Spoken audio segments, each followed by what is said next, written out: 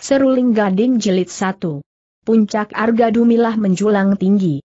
Diselimuti awan putih bergerombol seperti sekelompok domba berbulu putih bergerak perlahan, berarak ke arah selatan.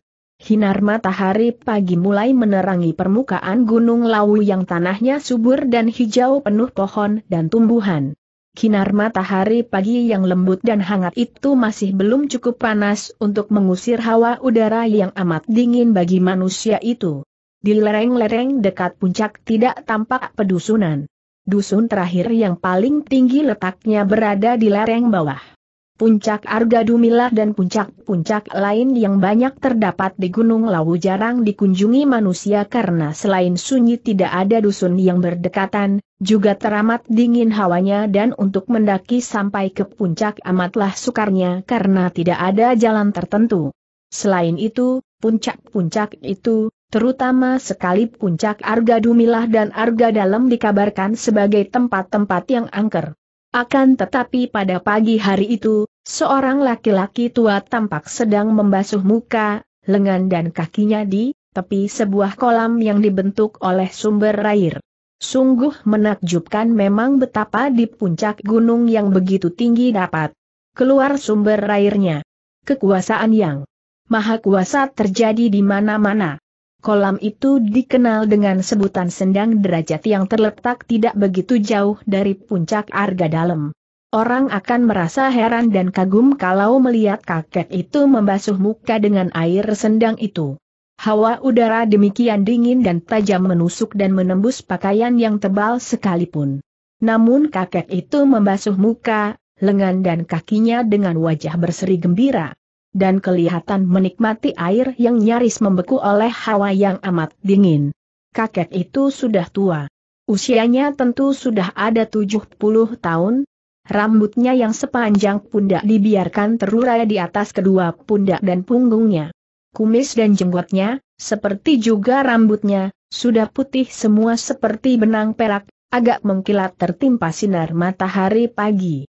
Bahkan sepasang alisnya yang tebal itu sudah putih semua, akan tetapi kulit mukanya masih segar, belum keriput seperti muka orang muda dan sepasang matanya bersinar lembut namun tajam dan penuh wibawa yang amat kuat.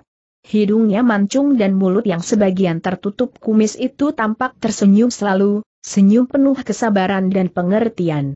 Tubuhnya tinggi kurus namun kakek itu bertulang besar dan tubuh yang tua itu masih tegap dan ketika dia bangkit berdiri dari jongkoknya, dia tampak kokoh.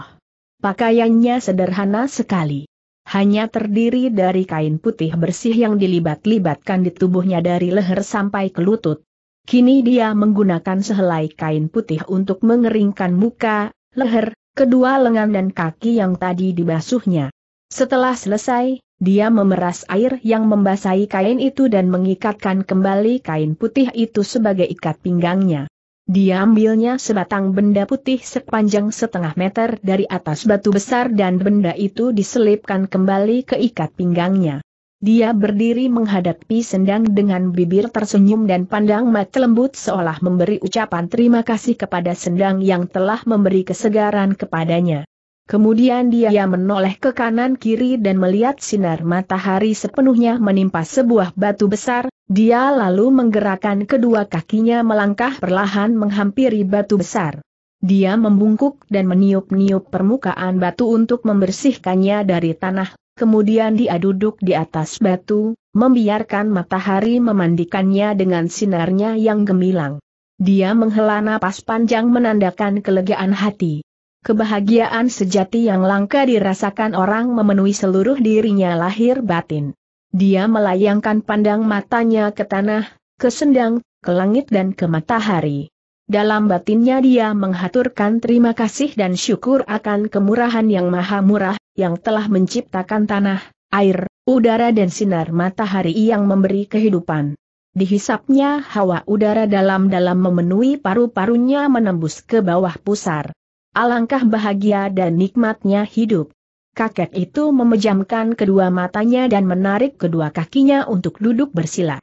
Kemudian tangan kanannya mengambil benda putih yang terselip di pinggangnya. Benda itu ternyata adalah sebatang suling yang warnanya putih kekuningan. sebatang suling terbuat daripada gading gajah. Dengan gerakan lembut dan santai sambil memejamkan kedua matanya, kedua tangannya memegang suling, mendekatkannya ke mulutnya lalu ditiupnya suling itu. Jari-jari kedua tangannya bermain-main di atas lubang-lubang suling dan terdengarlah lengkingan suara suling yang merdu. Suaranya mengalun dan mengayun perasaan, naik turun dengan lembutnya dan terdengar aneh. Tidak seperti tembang yang biasa dilakukan dengan suling bambu oleh para penabuh gamelan. Suara suling itu mendayu-dayu, kadang terdengar seperti hembusan angin bermain di puncak pohon-pohon cemara, kadang seperti gemercik air anak sungai bermain dengan batu-batu, kadang terdengar seperti sorak-sorai dan tawa riang, kadang seperti tangis sedih. Aneh akan tetapi indah. Kakek itu memejamkan mata, tubuhnya bergoyang-goyang perlahan ke kanan kiri dan semangatnya seperti melayang-layang di antara nada-nada suara suling. Kalau orang mendengarkan suara itu dengan hati akal pikiran yang bekerja, menilai dan mencoba untuk mengerti, tentu suara suling itu akan terdengar aneh. Akan tetapi kalau didengarkan tanpa ikutnya hati akal pikiran, maka akan terasa bahwa suara suling itu sudah sewajarnya dan menjadi satu dengan alam sekitarnya, seolah suara itu memang sudah seharusnya dan sepatutnya terdengar di tempat itu. Seperti suara, kicau burung, desah angin, gemercik air, kokok ayam dan suara alamiah yang lain. Semua suara itu adalah puja-puji yang memuliakan nama yang maha pencipta. Bahkan tubuh kakek yang bergoyang-goyang perlahan ke kanan kiri itu merupakan doa yang tanpa suara dan yang tak kunjung henti. Lima ekor burung sejenis jalak terbang melayang-layang, berputaran di atas sendang. Kemudian mereka melayang turun dan hinggap di atas tanah dekat kakek itu. Mereka tampak jinak dan diam seakan ikut mendengarkan dan menikmati suara suling itu. Suara suling itu berhenti dengan lembut makin lama makin lirih dan akhirnya kakek itu menghentikan tiupannya.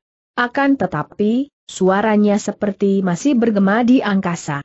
Kakek itu menyelipkan sulingnya di ikat pinggang, lalu dia turun dari atas batu. Lima ekor burung jalak itu terbang tinggi dan kakek itu mengikuti mereka dengan pandang matanya sambil tersenyum. Sejenak dia merasa seolah dia ikut terbang di antara lima ekor burung jalak itu. Setelah lima ekor burung itu menghilang di balik pohon-pohon, kakek itu lalu memutar tubuhnya dan melangkah perlahan-lahan menuju ke puncak Arga Dumilah. Matahari naik semakin tinggi dan awan yang tadi berarak sudah meninggalkan puncak. Langit tampak biru bersih dan sinar matahari mulai terasa hangat di kulit, sungguh pun bayang-bayang pohon masih panjang. Kakek tua renta itu adalah seorang pertapa yang sudah puluhan tahun meninggalkan dunia. Ramai. Dia merantau dari puncak yang satu ke puncak yang lain, dari tepi laut di ujung barat laut kidul sampai ke ujung timur. Dia suka menyendiri di tempat-tempat sunyi dan merasa bersatu dengan alam. Kalau dia tanpa disengaja bertemu dengan penduduk dusun dan ditanyai namanya, dia mengaku bernama Resi Tejo Wening dan kalau ditanya di mana tempat tinggalnya dia selalu menjawab bahwa tempat tinggalnya adalah di mana kedua kakinya menginjak. Kalau ditanya rumahnya, dia selalu menjawab bahwa rumahnya berlantai bumi, berdinding pohon-pohon dan beratap langit. Resi Tejo Wening berjalan santai mendaki puncak Arga Dumilah dan setelah tiba di puncak, pada sebuah tanah datar di puncak itu dia melihat beberapa orang sedang berdiri berhadapan dan terdengar mereka bertengkar. Resi Tejo Wening lalu duduk di atas batu yang terpisah sekitar 20 meter dari orang-orang itu. Dia memandang ke arah mereka namun tidak mengenal mereka dan belasan meter dari situ dia melihat sedikitnya 50 orang yang berpakaian serba hitam bergerombol dengan senjata pedang atau golok siap di tangan dan sikap mereka seperti sedang menanti perintah. Adapun yang sedang bertengkar itu adalah seorang laki-laki tinggi kurus yang berhadapan dengan tiga orang laki-laki lain. Laki-laki tinggi kurus itu berusia sekitar 63 tahun, Pakaiannya juga serba hitam dengan kain pengikat kepala berwarna hitam pula, wajahnya gagah berwibawa dan kumisnya yang melintang itu tebal dan sudah berwarna dua. Di pinggangnya tergantung sebatang pedang.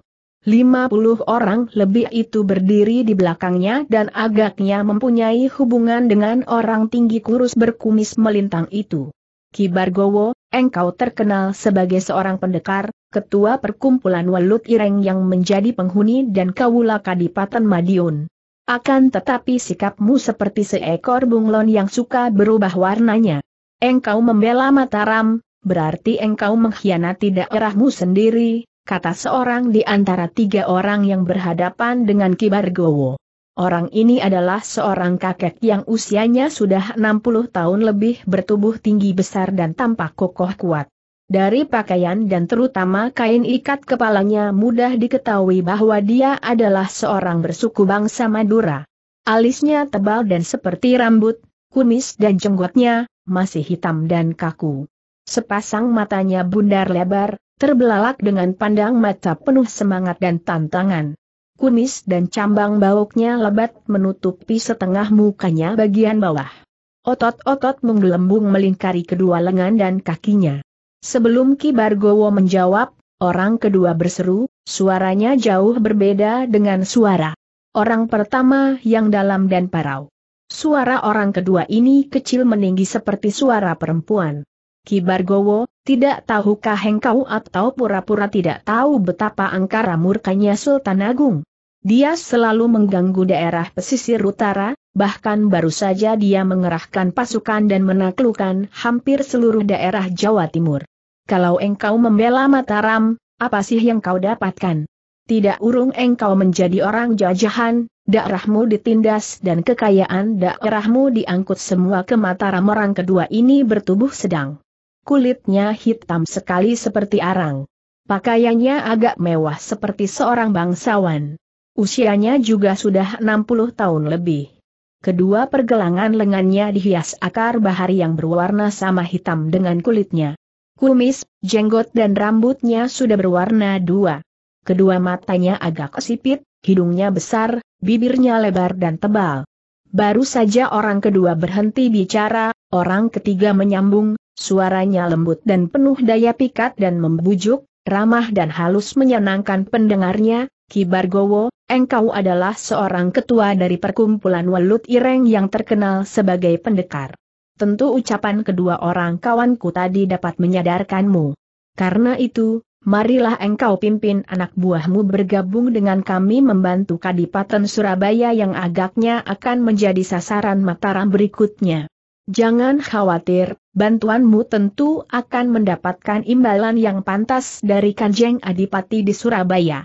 Marilah, orang gagah, bergabunglah dengan kami, orang ketiga ini berusia 60 tahun, tubuhnya kecil kurus. Kepalanya yang kecil itu botak. Sedikit rambut yang tumbuh di bagian kanan kiri dan belakang kepalanya agak keriting dan masih hitam. Mukanya halus tanpa kumis maupun jenggot. Matanya yang kecil itu memiliki pandangan yang tajam sekali, penuh wibawa. Hidungnya pesek dan mulutnya juga kecil. Orang ini melihat tubuhnya seperti seorang kakek yang lemah saja. Namun sepasang matanya yang bergerak-gerak cepat dan sinarnya tajam menusuk itu membuat orang tidak tahan berlama-lama menentang pandang matanya. Ki Bargowo adalah seorang pendekar yang gagah perkasa. Sebagai ketua perkumpulan Welut Ireng dia memimpin anak buahnya yang berjumlah kurang lebih 60 orang agar selalu bersepak terjang sebagai pendekar pembela kebenaran dan keadilan. Juga dia terkenal sebagai seorang yang selalu membela Mataram, bahkan ketika pasukan Mataram melakukan penyerbuan ke Jawa Timur untuk menaklukkan para adipati yang tidak mau tunduk kepada Mataram, dia pun memimpin anak buahnya untuk membantu. Pada waktu itu dia memimpin anak buahnya menjelajahi pegunungan Lawu untuk mencari tempat tinggal yang baru karena dia bermaksud untuk membuka perkampungan sebagai pusat perkumpulannya. Akan tetapi ketika dia dan anak buahnya berhasil mendaki sampai ke puncak Arga Dumilah, dia bertemu dengan tiga orang kakek ini yang tiba-tiba saja menyerangnya dengan kata-kata dan membujuknya untuk bekerja sama membantu Surabaya yang hendak memberontak terhadap Mataram. Dia mendengar ucapan tiga orang itu dengan sikap tenang. Setelah mereka bertiga berhenti bicara, barulah dia menjawab, suaranya tenang namun tegas, sebelum saya menjawab ucapan Andika bertiga, karena Andika bertiga sudah mengenal dan mengetahui nama saya, saya ingin tahu lebih dulu, siapakah gerangan kisanak bertiga ini hahaha, engkau belum mengenal kami? Tidak heran.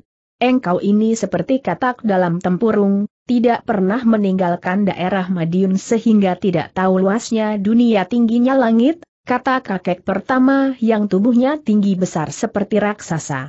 Engkau tidak tahu siapa aku? Tanyalah kepada setiap orang di Madura, laki-laki atau perempuan, dari kanak-kanak sampai kakek-kakek, mereka semua mengenal siapa Harya Bakawulung, hahaha diam-diam Ki Bargowo terkejut. Biarpun belum pernah bertemu, dia sudah lama mendengar akan nama besar Ki Harya Bakawulung yang merupakan gegeduk, jagoan, yang terkenal sakti dan dikdaya dari Pulau Madura.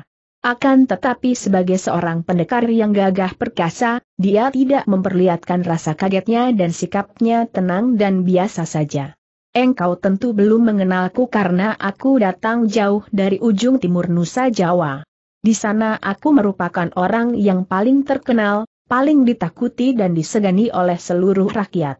Akulah Wiku Menak Koncar, orang kepercayaan Adipati Belambangan kata orang kedua yang berkulit hitam dan tampaknya bersikap kasar namun yang suaranya seperti suara seorang perempuan.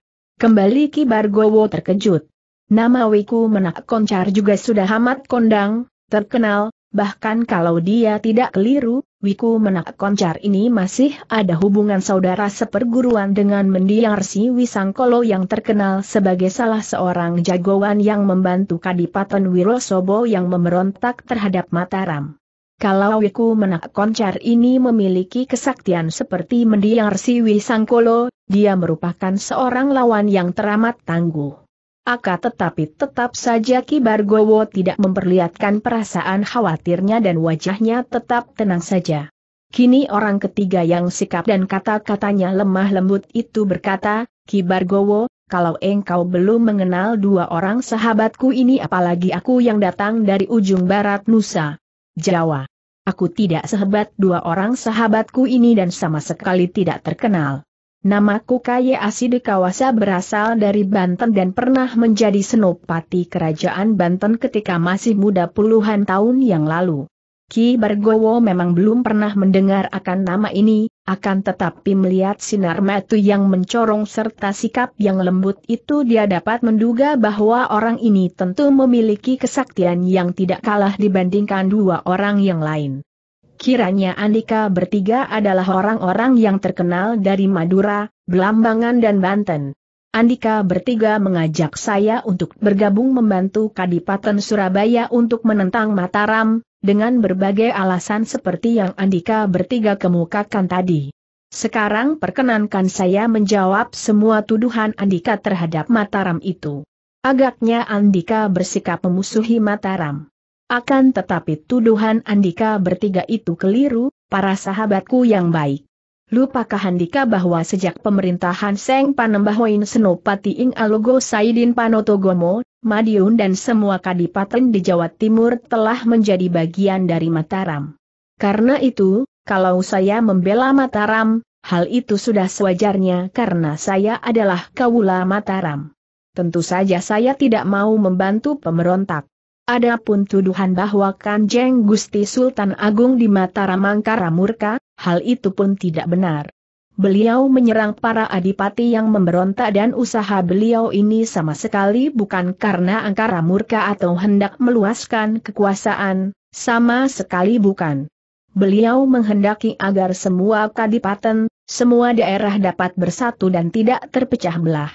Karena hanya dengan bersatu padu kita menjadi kuat untuk menghadapi bahaya yang mengancam kita, yaitu kekuasaan Belanda yang kini menduduki Jayakarta. Kalau kita tidak bersatu padu, bagaimana kita akan mampu mencegah Belanda memperluas wilayah kekuasaannya?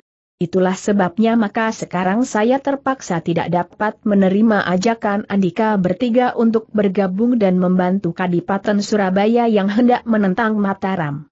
Bagaimanapun juga, saya dengan semua anggota Welut Ireng tetap setia kepada Mataram, Babo-Babo, Ki Bargowo.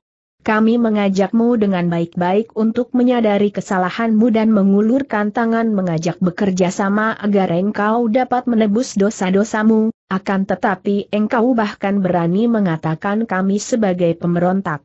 Kami berjuang mempertahankan daerah kami dari cengkeraman Mataram dan engkau berani menentang kami apakah nyawamu sudah ada cadangannya sehingga engkau tidak takut mampus sesukamulah, Ki Haria Bakawulung. Akan tetapi sekali lagi ku tegaskan, kami semua tetap setia dan membela Mataram dan kalau Andika bertiga tidak segera meninggalkan puncak ini, terpaksa kami akan menggunakan kekerasan untuk mengusir Andika kata Ki Bargowo yang menjadi marah. Dia memberi isyarat dengan tangan kirinya dan 50 orang lebih anak buahnya itu bergerak maju dan berhenti di belakangnya dalam keadaan siap bertempur. Hei hei hei Ki Haria Bakawulung terkekeh sehingga perutnya yang besar itu terguncang-guncang. Engkau dan anak buahmu hendak mengusir kami? Dengan care bagaimana engkau dapat mengusir kami dengan care ini Ki Bargowo mengacungkan tinju kanannya. Hendak memukulku? Hehe, maju dan pukulah, Ki Bargowo. Hendak kulihat apakah tanganmu yang lunak itu mampu merobohkan aku Ki Bargowo merasa ditertawakan dan ditantang. Dia adalah seorang gagah, seorang pendekar bahkan ketua perkumpulan orang-orang gagah. Tak pernah dia mundur menghadapi tantangan siapa pun juga. Maka mendengar tantangan Ki Haria Bakawulung, dia mengerahkan tenaga pada kedua tangannya lalu membentak nyaring. Sambutlah pukulanku ini tangan kanannya menyambar, memukul dengan jari tangan terbuka ke arah dada lawan yang bidang itu. Pukulan ini kuat sekali dan dengan pukulan semacam itu, Ki Bargowo akan mampu membuat pecah sebongkah batu gunung atau menumbangkan sebatang pohon kelapa.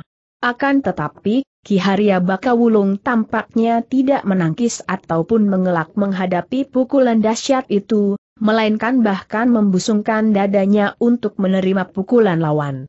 Wuut Bukki Bargowo terkejut sekali ketika merasa betapa tangannya seolah bertemu dengan benda kinyal dan kuat seperti karet, membuat tangannya yang memukul mental. Hei hei hei hei, ringan dan lunak sekali tanganmu, Ki Bargowo, seperti tangan tukang pijat, hei hei hei Ki Haria Bakawulung menertawakan dan mengejek. Ki Bargowo menjadi penasaran bukan main. Dia sudah sering bertanding lawan tangguh, akan tetapi aji pukulannya itu mampu aji kekebalan lawan. Baru sekarang pukulannya itu terpental ketika bertemu dengan ex Biharia Bakawulung. Dia lalu memusatkan seluruh daya ciptanya, mengerahkan tenaga sakti sepenuhnya ke arah kedua tangannya, lalu berseru, sambutlah pukulan ini kini kedua tangannya menyambar dengan jari-jari terbuka, meluncur dari kanan kiri menampar ke arah kedua pelipis kepala lawan. Wuuut! Plak kedua tangannya itu tertahan dan ternyata telah dipegang pada pergelangan tangannya oleh sepasang tangan Ki Haria Bakawulung yang besar. Kedua pergelangan tangannya rasanya seperti dijepit alat penjepit dari baja. Demikian kuatnya jari-jari yang panjang dan besar itu mencengkeram pergelangan kedua tangannya. Seakan-akan remuk rasa tulang lengannya. Ki Bargowo lalu mengerahkan Aji Welut Ireng yang menjadi andalannya, bahkan Aji itu dipergunakan untuk menjadi nama perkumpulannya karena semua anak buahnya mempelajari Aji itu. Tubuhnya menggeliat, Kedua lengannya bergerak dan kedua lengannya itu bagaikan telah berubah menjadi belut-belut yang licin sekali tubuhnya sehingga terlepas dari cengkeraman kedua tangan Ki Haria Bakawulung. Ki Bargowo melompat ke belakang. Eh haha Ki Haria Bakawulung terbelalak, akan tetapi lalu terkekeh. Hei hei hei, itukah Aji Welut Ireng? Bagus. Akan tetapi sekali lagi engkau terpegang oleh tanganku akan kuremas hancur dan hendak kulihat apakah engkau mempunyai cadangan nyawa Ki Bargowo tahu benar bahwa lawannya adalah seorang yang sakti mandraguna dan dia tidak akan mampu menandinginya kalau hanya bertangan kosong. Oleh karena itu dia melangkah tiga kali ke belakang dan mencabut pedangnya. Haria Bakawulung, aku siap membela Mataram dengan taruhan nyawaku kata Ki Bargowo sambil memasang kuda-kuda, pedang di tangan kanan diangkat tinggi di atas kepala sedangkan tangan kirinya menyilang di depan dada. Hei hei hei, Bagus sekali. Aku pun siap membela Madura dan menentang Mataram dengan taruhan nyawaku kata Ki Haria Bakawulung dengan sikap menantang. Pusaka telah siap di tanganku. Keluarkanlah senjatamu agar kita dapat mengadu nyawa kata Ki Bargowo. Sebagai seorang pendekar yang berwatak gagah jayel tidak mau menyerang lawan yang belum memegang senjata. Hehehe, Ki Bargowo. Biarpun engkau memiliki enam buah tangan yang semua memegang senjata, aku tidak takut menghadapimu dengan tangan kosong. Maju dan bersiaplah untuk mati di tanganku mendengar ucapan ini, makin yakinlah hati Ki Bargowo bahwa lawannya memang tangguh sekali. Hanya orang yang sakti sekali dan sudah penuh kepercayaan akan kesaktiannya itu yang akan berani menghadapi lawan bersenjata hanya dengan tangan kosong. Karena ditantang, Ki Bargowo tidak merasa sungkan lagi. Dia menggerakkan pedangnya di atas kepala lalu berseru nyaring. Sambut serangan pedangku pedang itu menyambar ke arah leher Ki Haria Bakawulung dengan cepat sekali sehingga tampak sinar pedang menyambar seperti kilat. Namun sambil tersenyum datuk dari Madura ini menggeser kakinya dan mengelak dengan mudah. Bakawulung tidak membual ketika dia mengatakan bahwa seluruh rakyat Madura mengenal namanya. Dia bahkan merupakan orang kepercayaan Panembahan Lemah Duur Adipati di Arosbaya ketika dia masih muda. Kadipaten Arosbaya adalah sebuah kadipaten yang kuat di Madura Barat. Dia seorang ahli ilmu silat dan ilmu sihir dan disegani, juga seorang yang amat setia terhadap Kadipaten Arosbaya pada khususnya dan Pulau Madura pada umumnya. Melihat serangan pertamanya dapat dilakukan dengan mudah oleh lawannya, Ki Bargowo menyusulkan serangan kedua. Kini pedangnya meluncur dan menusuk ke arah dada Bakawulung. Heit Ki Haria Bakawulung kembali mengelak dengan miringkan tubuhnya ke kanan. Ketika pedang lawannya meluncur di samping kiri tubuhnya, tangan kirinya mencengkeram ke depan, ke arah lengan kanan Ki Bargowo. Ketua Welut Ireng ini pun bukan seorang lemah. Dia tahu bahwa sekali ini apabila lengannya dapat dicengkeram tangan yang amat kuat itu, tentu akan remuk dan patah-patah tulang lengannya. Maka dia pun cepat menarik pedangnya dan memutar pedang itu sehingga kini keadaannya berbalik. Pedangnya yang mengancam tangan kiri lawan. Terangga Ki Bargowo terkejut dan melangkah mundur. Ternyata pedangnya yang bertemu dengan tangan kiri itu terpental, seolah tangan itu terbuat dari baja yang amat keras dan kuat. Tiba-tiba terdengar suara tawa meninggi seperti tawa perempuan. Hai hai hik, Ki Haria Bakawulung, kenapa engkau masih bermain-main yang tertawa dan menegur ini adalah wiku menak koncar. Ki Haria Bakawulung, cepat bereskan dia dan jangan membuang banyak waktu kata pula Kiai Sidikawasa dengan suaranya yang lembut. Mendengar ini, Ki Haria Bakawulung terkekeh. Hei engkau mendengar kata kawan-kawanku, Ki Bargowo titik sekarang matilah engkau setelah berkata demikian, dia menekuk kedua lututnya hampir berjongkok dan kedua tangannya didorongkan ke arah dan mulutnya berseru dengan suara yang seolah keluar dari dalam perutnya. Aji Cantuka Sakti, kok kok kok berbarengan dengan bunyi kok kok tadi, dari kedua telapak tangan itu menyambar angin pukulan yang amat dahsyat sehingga tanah dan pasir ikut. Beterbangan seperti dilanda angin lesus. Ki Bargowo maklum bahwa dia diserang oleh pukulan jarak jauh yang mengandung tenaga sakti yang amat kuat. Dia tahu bahwa dia tidak mampu mengelak, maka dia pun mengerahkan tenaga saktinya untuk menyambut pukulan itu dengan mendorongkan kedua tangannya ke depan setelah melepaskan pedangnya yang jatuh ke atas tanah. Wuut belar hebat sekali pertemuan antara dua tenaga sakti itu dan akibatnya, tubuh Ki Bargowo terlempar ke belakang seperti daun kering tertiup angin dan jatuh terbanting dengan kerasnya di depan para anak buahnya para anak buah Welut Ireng cepat menghampiri dan berusaha membantu ketua mereka untuk bangkit. Akan tetapi mereka melihat bahwa Ki Bargowo telah tewas dan darah segar mengalir keluar dari mulutnya. Melihat ketua mereka tewas, para anggota Welut Ireng yang setia itu terkejut sekali dan mereka menjadi marah. Serentak mereka maju menyerang tiga orang, itu sambil berteriak marah melihat 50 orang lebih itu menyerbu dengan golok atau pedang di tangan, Tiga orang datuk itu lalu tertawa. Suara tawa mereka berbeda nadanya. Hai hai hai hai Ki Haria Bakawulung tertawa. Hai hai hai hik tawa wiku menak koncar terdengar seperti tawa seorang wanita. Hahaha Kiai Sidikawasa juga tertawa, suara tawanya merdu dan halus.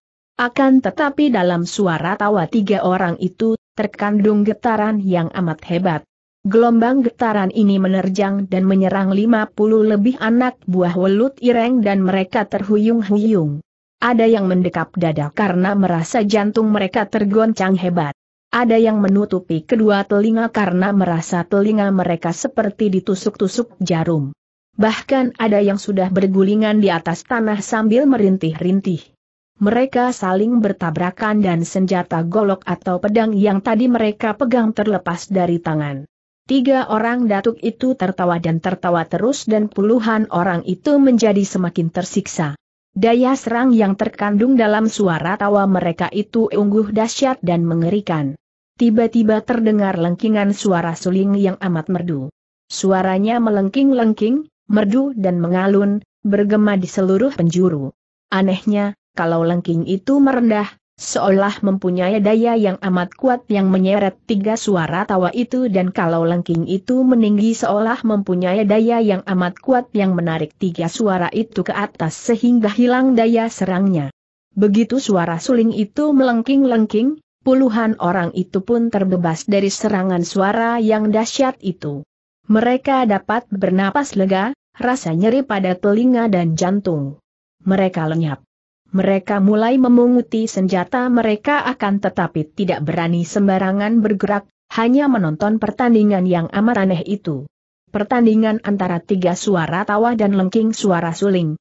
Dan kini mereka melihat bahwa suara suling itu keluar dari sebatang suling putih kekuningan yang ditiup oleh seorang kakek tua renta yang duduk di atas sebuah batu besar. Tiga orang datuk itu terkejut bukan main. Ada daya kekuatan lembut yang bagaikan dinding yang kuat keluar dari suara suling itu, membendung dan menghalang sehingga daya serang suara tawa mereka membalik.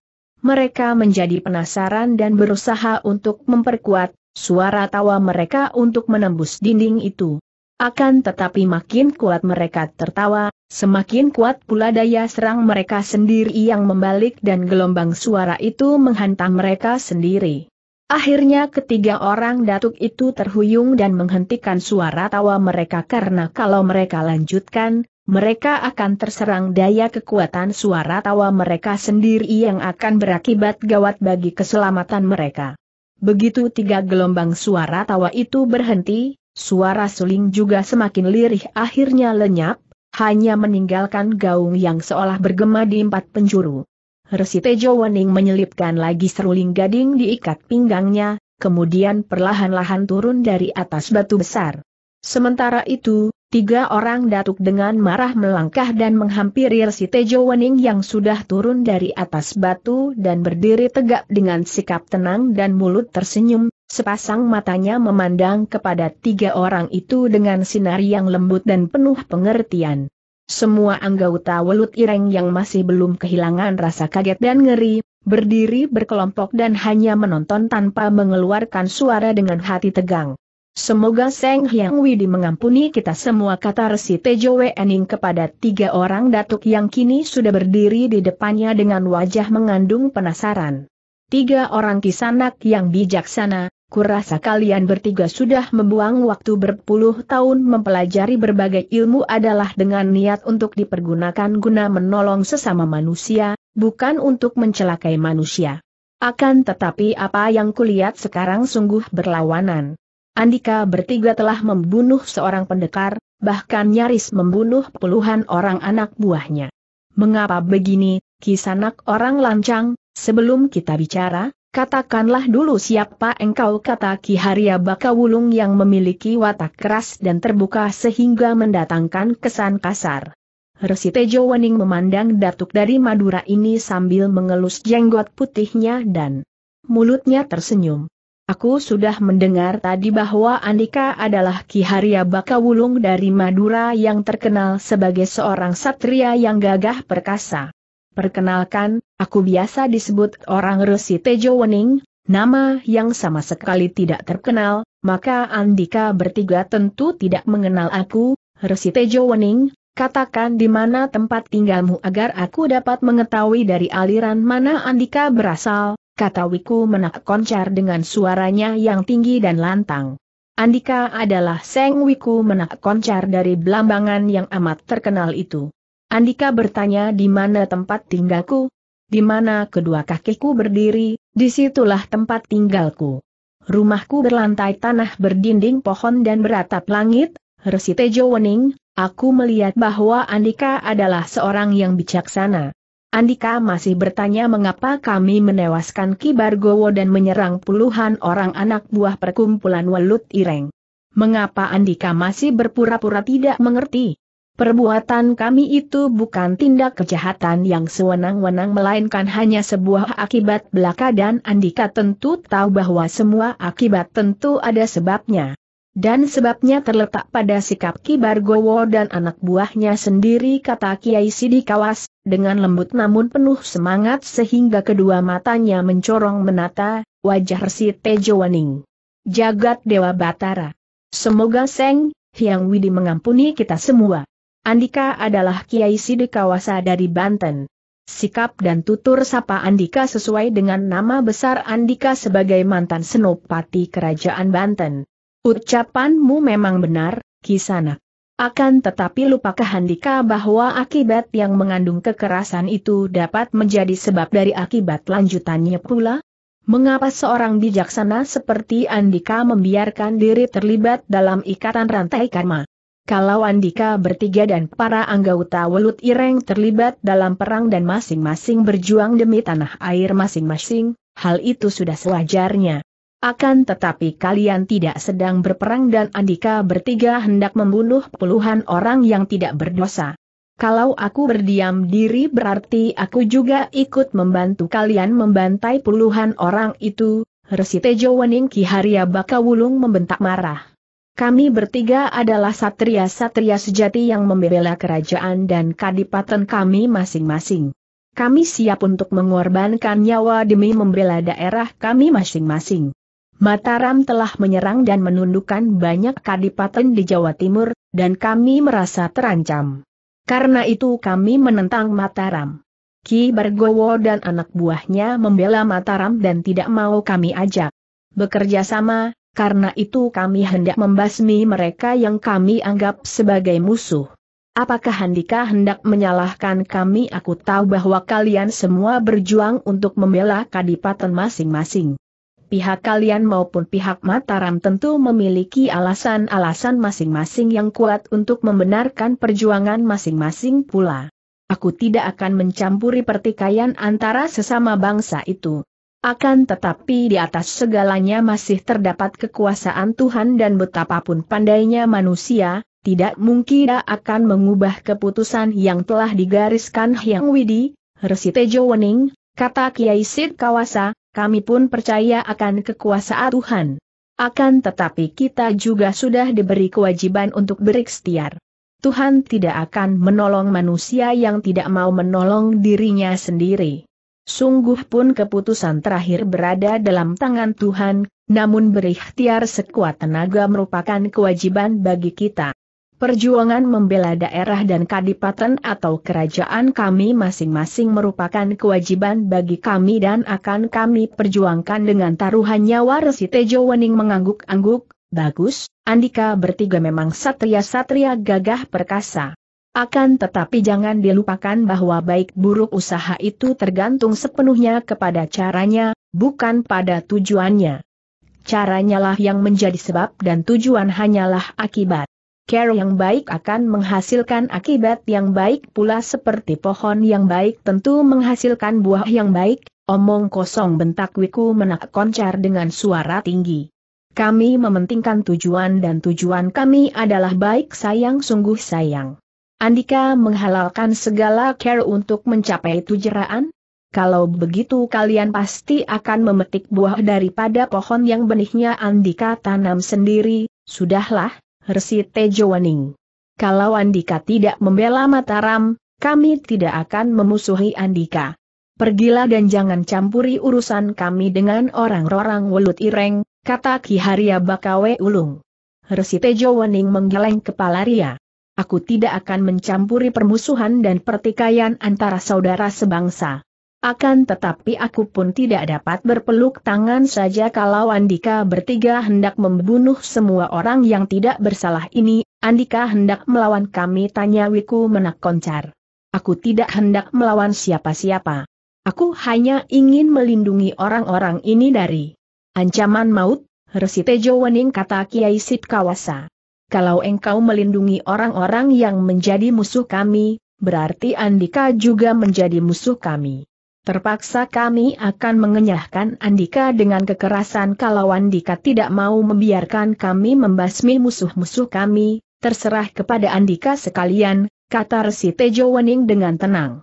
Tiga orang datuk itu saling pandang dan mereka bertiga lalu berdiri dengan kepala menunduk, kedua lengan bersilang di depan dada lalu mengerahkan kekuatan batin mereka. Ketiganya selain merupakan ahli-ahli silat yang dikdaya, juga memiliki kelebihan menggunakan ilmu sihir untuk menyerang lawan. Dari tubuh Ki Haria Bakawulung mengepul asap hitam yang makin lama semakin tebal dan perlahan-lahan asap hitam itu bergerak ke arah Resi Tejawening pada saat itu juga, dari tubuh Wiku Menak Koncar bertiup angin yang makin lama semakin kencang dan berpusing seperti angin ribut. Sementara itu, dari tubuh Kiai Sidekawasa muncul api berkobar yang juga menuju ke arah Resi Tejawening. Daya kukus langking bentak Ki Haria Bakawulung dan asap hitam tebal itu kini menyerbu ke arah Resi Tejowaning. Daya Bayu Bajrawiku menak koncar juga membentak dan angin ribut itu juga menyambar ke arah Seng Resi. Daya Analabani Kiai Sidekawasa berseru dan api berkobar itu menyerang pula ke arah Seng Resi. Tubuh Seng Resi Tejowaning tidak tampak lagi karena sudah tertutup asap hitam angin ribut dan api juga menyerangnya. Tiba-tiba terdengar bunyi seruling melengking-lengking, makin lama semakin nyaring dan asap hitam, angin ribut dan kobaran api itu seperti terdorong tenaga yang amat kuat sehingga membalik dan menyerang tiga orang itu sendiri. Tiga orang datuk itu mengerahkan seluruh tenaga batin mereka untuk memperkuat daya serangan mereka, namun tetap saja asap, angin dan api itu membalik sehingga terpaksa mereka menghentikan ilmu sihir mereka kalau tidak ingin menjadi korban daya ciptaan mereka sendiri.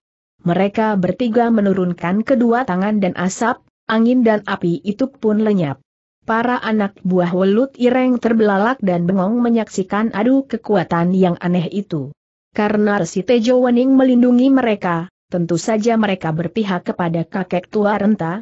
Ini Tadi ketika ada asap hitam, angin ribut dan kobaran api menyerang Seng Resi, mereka semua menjadi gelisah dan khawatir sekali. Mereka maklum bahwa kalau Seng Resi kalah, tentu nyawa mereka terancam maut di tangan tiga orang sakti itu. Akan tetapi ternyata, dengan suara sulingnya, Resi Tejo Wening dapat mengalahkan ilmu sihir ketiga orang penyerangnya.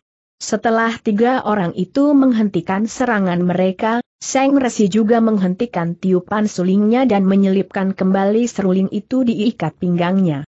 Melihat betapa ilmu sihir mereka, seperti juga suara tawa mereka tadi, dikalahkan dengan mudah oleh Seng Resi, tiga orang datuk itu menjadi penasaran dan marah sekali. Mereka saling pandang dan mereka telah bersepakat untuk mempergunakan aji pukulan sakti mereka, pukulan yang mengandung tenaga sakti yang amat kuat. Kalau resi yang tua renta itu mampu mengalahkan ilmu sihir mereka, belum tentu tubuh tua yang tampak keringkih itu akan mampu bertahan terhadap aji pamungkas mereka yang dilakukan berbareng. Ki Haria Bakawulung melakukan gerakan seperti tadi ketika dia merobohkan Ki Bargowo. Dia menekuk kedua kaki sampai hampir berjongkok, kedua tangan mendorong ke depan dan berteriak nyaring. Aji Cantuka Sakti Wiku Menak Koncar juga mengerahkan Aji Pamungkasnya. Dia berdiri dengan kedua kaki terpentang lebar, punggungnya membungkuk dalam seperti seekor lembut hendak menanduk lalu mendorongkan kedua tangan sambil berteriak lantang. Aji Nanda Kakroda pada saat yang bersamaan, Kiai Sidikawasa juga mengerahkan Aji Pamungkasnya. Dia menekuk lutut kanannya dan menarik kaki kiri ke belakang lalu kedua tangannya didorongkan ke depan sambil berteriak pula. Aji Hastanala serangan tiga orang datuk itu dilakukan dengan berbareng. Memang mereka sengaja melakukan serangan secara berbareng dan serangan itu bukan main dahsyatnya. Baru Aji Cantuka Sakti, kata Sakti, itu saja tadi telah menewaskan Kibar Gowo yang didaya. Aji Nandaka Kroda, banteng marah, itu pun tidak kalah hebatnya. Hantamannya dapat menghancurkan sebongkah batu besar dan menumbangkan sebatang pohon jati sebesar orang. Aji Hastanala, tangan api, lebih hebat lagi. Apa saja yang dilanda Aji ini akan tumbang dan hangus seperti disambar petir. Kini ketiga Aji yang amat dahsyat itu menyambar secara berbareng ke arah tubuh kakek tua. Yang tampak keringkih itu. Anehnya, Resi Tejo Wening tidak melawan sama sekali. Kakek ini bahkan merangkap tangannya depan dada seperti menyembah. Puluhan orang anak buah welut ireng memandang dengan mata, terbelalak dan wajah pucat. Mereka semua dapat menduga akan kedahsyatan serangan tiga orang itu. Tiga orang anak buah welut ireng yang memegang tombak tidak dapat menahan kekhawatiran mereka. Dengan nekat mereka lalu melompat dan menyerang tiga orang itu dengan tusukan tombak mereka. Au-ugah tiga orang itu terpental dan terbanting roboh, hanya sempat mengeluarkan teriakan itu karena mereka bertiga telah tewas dan dari mulut mereka mengalir darah segar. Mereka tidak tahu bahwa tubuh tiga orang datuk pada saat itu sedang mengeluarkan hawa yang mengandung tenaga sakti yang amat hebat sehingga sebelum tombak mereka menyentuh tubuh tiga orang datuk itu, ada hawa dahsyat membuat mereka terpental dan tewas seketika. Kini hawa pukulan sakti tiga orang datuk itu sudah menghantam ke arah Resi Eo Wening. Akan tetapi apa yang terjadi? Tenaga sakti tiga orang itu seperti menghantam udara kosong, seolah tenggelam ke dalam air samudera. Tiga orang itu merasa penasaran dan kini merek menerjang maju, hendak menyerang langsung dengan tangan mereka. Akan tetapi ketika tangan mereka menyambar ke arah dada dan kepala Resi Tejo Wening, mereka bertiga seolah terdorong oleh hawa yang teramat kuat sehingga ketiganya mundur dan terhuyung-huyung.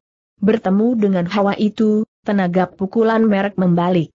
Mereka bertiga saling pandang dengan muka berubah pucat. Kini baru mereka bertiga yakin bahwa mereka berhadap dengan orang yang sakti mandraguna, yang tanpa pengerahan tenaga sakti sudah terlindung oleh kekuatan yang maha dahsyat. Melihat Resi Tejawening masih merangkap kedua tangan depan dada seperti sembah, Tiga orang itu pun menyembah dengan kedua tangan dirangkap depan dada dan Ki Haria Bakawulung mewakili teman-temannya berkata dengan suara rendah. Resi Tejo Wening, sekali ini kau mengaku kalah.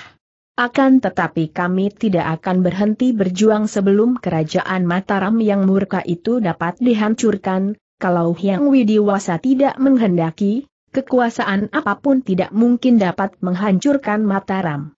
Aku tidak akan mencampuri pertikaian antara saudara sendiri, akan tetapi aku akan selalu berupaya untuk membantu kehendak Hyang Widi, berusaha menjadi alat yang baik dari Hyang Widi. Babo-babo, kita sama lihat saja nanti siapa yang benar di antara kita, kata Wiku Menak Koncar. Setelah berkata demikian, Wiku Menak Koncar dan dua orang temannya membalikan tubuh dan melangkah pergi menuruni puncak Arga Dumilah. Entah siapa yang mendahului, 50 lebih anggota welut ireng itu lalu menjatuhkan diri berlutut menghadap Resi Tejo Wening dan memberi hormat dengan sembah. Bapak Resi, Paduka telah menyelamatkan nyawa kami. Terima kasih kami ucapkan atas budi pertolongan Paduka, kata seorang di antara mereka yang mewakili semua temannya. Sudahlah, jangan berterima kasih kepadaku kalau hendak berterima kasih bersyukur dan berterima kasihlah kepada Seng Hyang Widi karena hanya dia yang kuasa menyelamatkan semua orang. Sekarang lebih baik kalian mengurus jenazah Ki Bargowo dan teman-teman kalian yang tewas.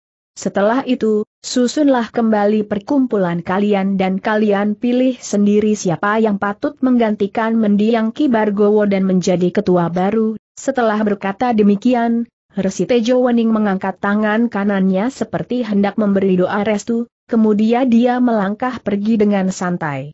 Para anak buah perkumpulan Welut Ireng itu, lalu mengangkat jenazah Ki Bargowo dan tiga orang kawan yang baru saja menyerang tiga datuk itu dan tewas juga ada lima orang kawan lain yang telah tewas lebih dulu ketika tiga orang datuk itu menyerang mereka dengan gelombang suara tawa. Mereka menggotong mayat-mayat itu turun dari puncak Arga Dumilah untuk dicarikan tempat yang baik di lereng bawah dan mengubur mayat-mayat itu Desa Pakis merupakan sebuah desa yang cukup besar. Penduduknya banyak dan mereka semua hidup sebagai petani di lereng Gunung Lau sebelah timur laut yang tanahnya subur. Desa Pakis dikepalai seorang demang maka daerah Pakis disebut Kademangan Pakis. Demang itu bernama Demang Wiroboyo, seorang laki-laki bertubuh tinggi besar, kumisnya sekepal sebelah sehingga tampak gagah dan menyeramkan. Usia Wiroboyo sekitar 40 tahun, dia sebenarnya merupakan seorang kepala dusun yang baik dan bijaksana, tidak menindas rakyatnya, bahkan titik selalu berusaha untuk menyejahterakan kehidupan rakyat dusun Kademangan Pakis. Dia disegani dan dihormati semua orang di daerah Kademangan Pakis. Akan tetapi, di manakah terdapat manusia yang tanpa cacat? Demikian pula Ki Wiroboyo, di samping kelebihannya, juga terdapat kekurangannya. Kekurangannya itu adalah bahwa dia seorang laki-laki metu keranjangi di dalam rumah besar kademangannya, dia sudah mempunyai tiga orang istri.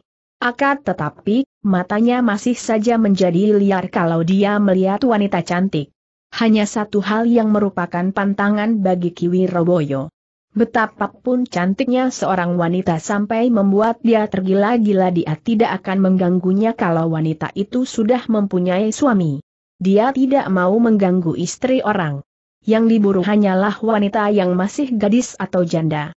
Akan tetapi, kalau nafsu berahi sudah memenuhi kepalanya dalam mengejar seorang gadis atau janda, dia akan berupaya sekuat tenaga untuk mendapatkan wanita itu. Tentu saja pertama-tama dengan cara memikat. Harta dan kekuasaannya menjadi umpan ditambah janji-janji muluk. Dan kalau sudah tergila-gila, timbullah kejahatannya.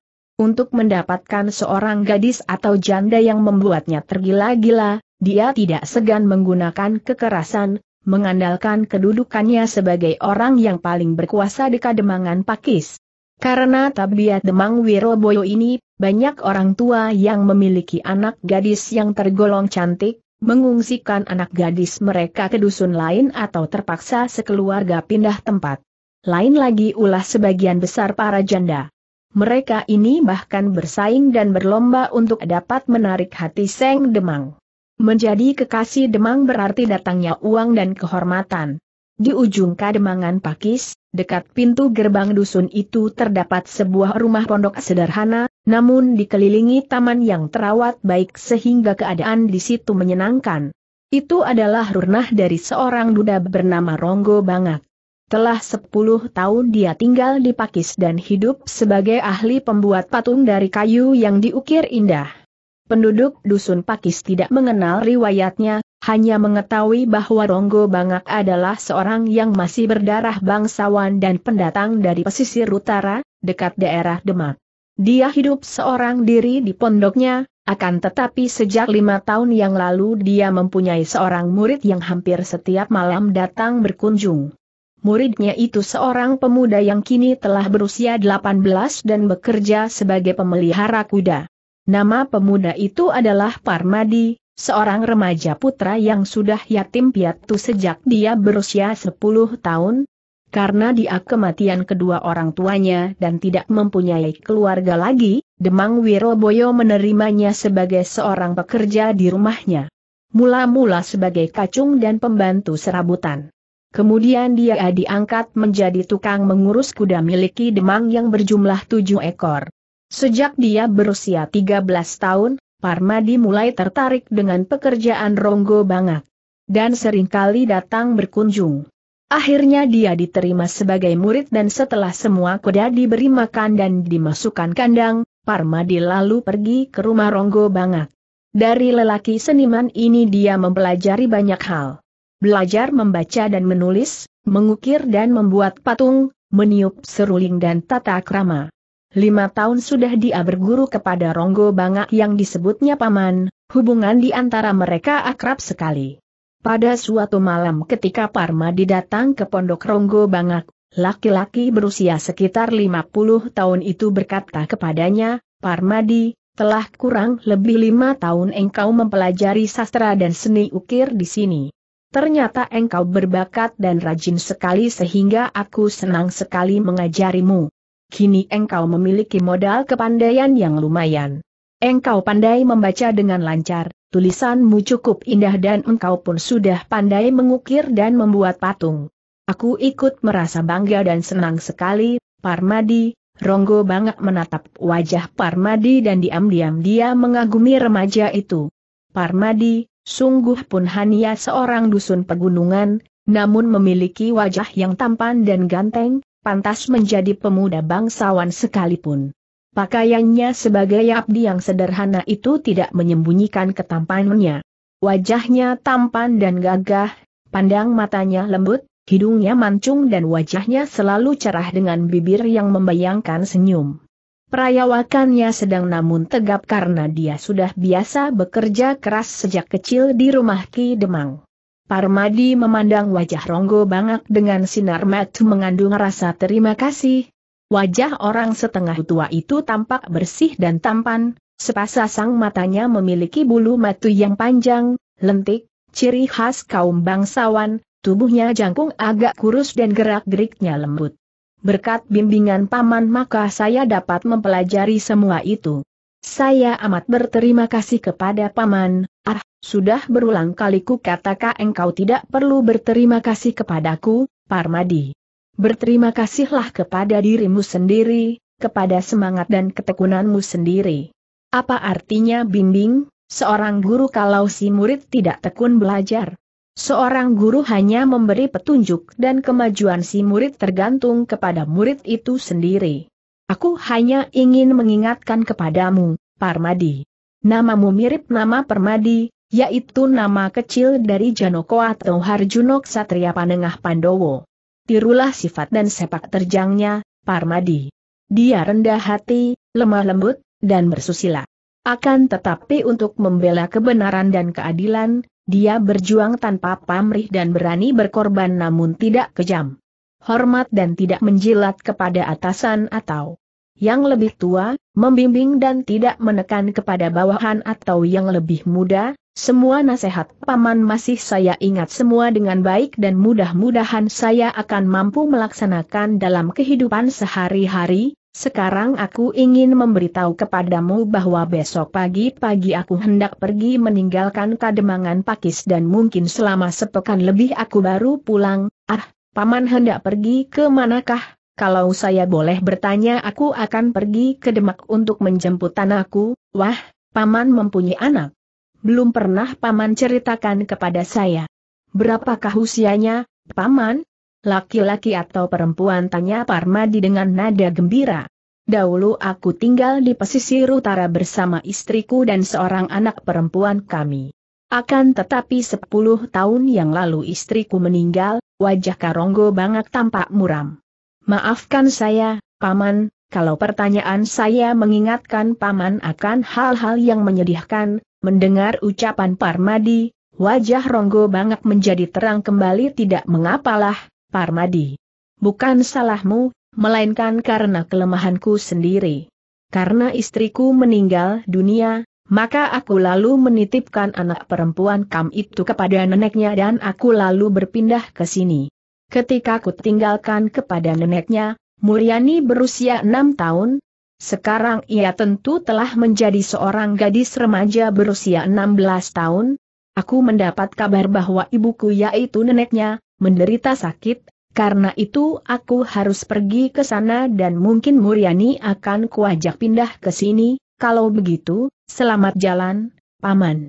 Saya akan berkunjung ke sini setiap sore selepas kerja dan akan saya bersihkan halaman depan, baik, dan terima kasih, Parmadi.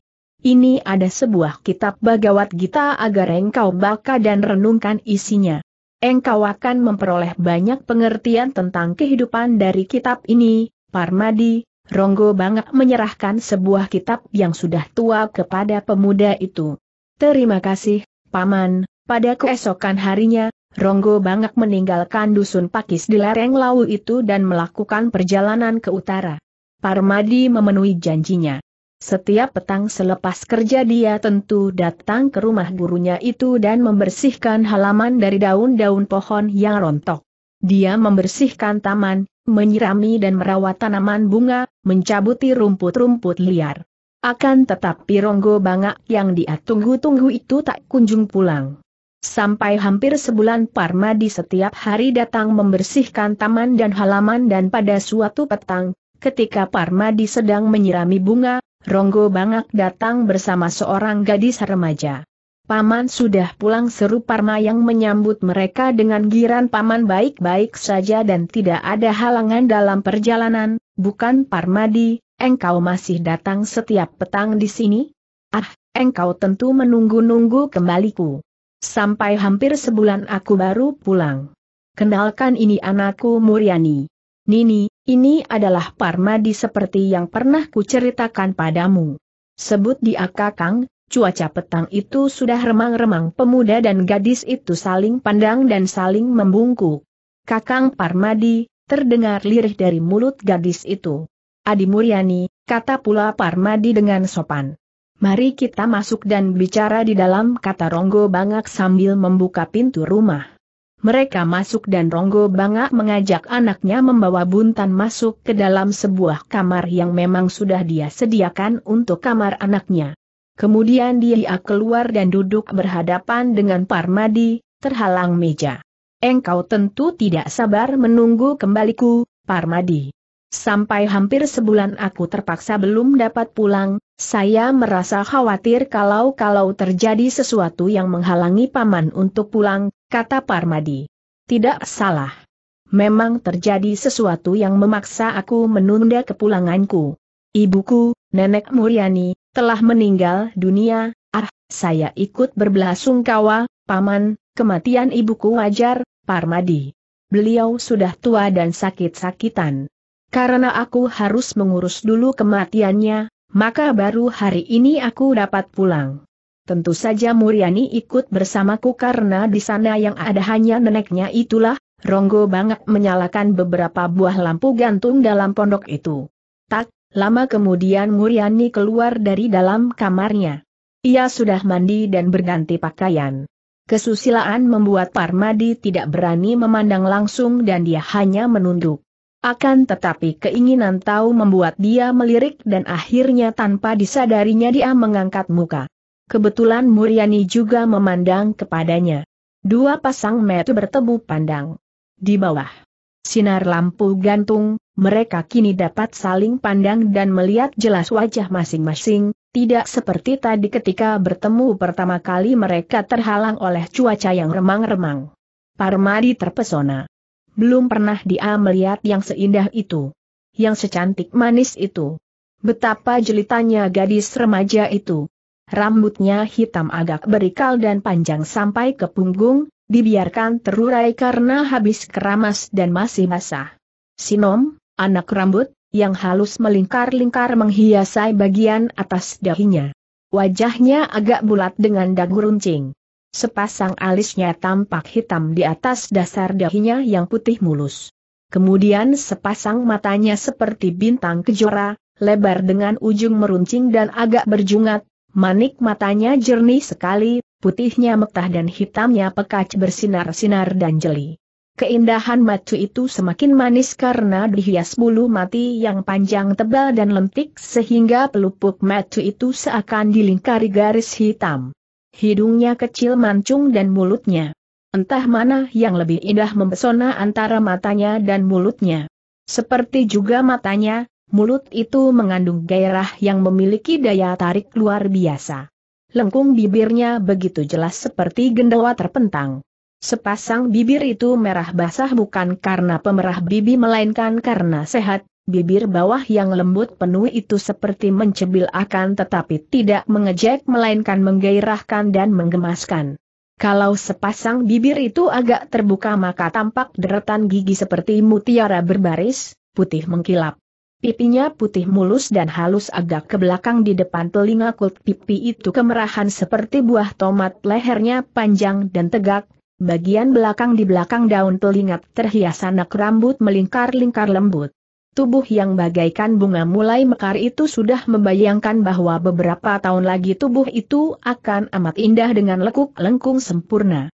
Pinggangnya ramping perutnya datar, dada dan pinggulnya padat. Parmadi melongot, matanya tak pernah berkedip, mulutnya ternganga. Duduklah, Nini kata Ronggo banget. Mendengar suara ini, Parmadi merasa seolah diseret kembali ke dunia sadar dan dia tersipu dan dengan gugup dia bangkit dan menyodorkan sebuah bangku kepada gadis itu. Ah, ya, duduklah, Muriani, mereka duduk berhadapan, terhalang meja. Akan tetapi setelah kini sadar sepenuhnya, tidak dicengkeram pesona oleh keayuan Muriani, Parmadi teringat akan sesuatu dan dia mengerutkan alisnya, hatinya dicekam kekhawatiran. Ronggo Bangak yang sudah lima tahun menjadi guru Parmadi, sudah mengenal perasaan yang terbayang di wajah pemuda itu. Parmadi, engkau merisaukan sesuatu. Ada apakah? Parmadi tidak merasa terkejut ketika gurunya membaca isi hatinya. Dia tidak pernah dapat menyembunyikan sesuatu dari pandang mata gurunya yang tajam waspada. Dan dia pun biasa berterus terang tidak menyimpan rahasia hatinya kepada Ronggo Bangak.